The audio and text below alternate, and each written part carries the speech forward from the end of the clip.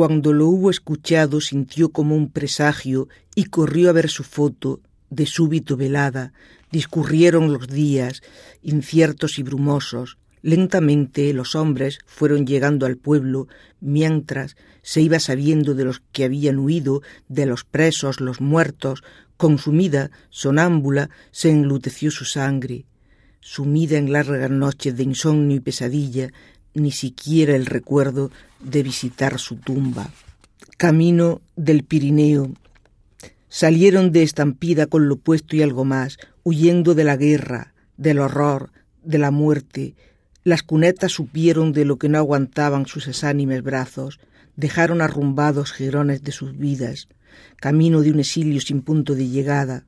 Aquellos que lograron traspasar la frontera, derrotados apátridas, no tenían derecho ni a mirar hacia atrás. Valle de los caídos.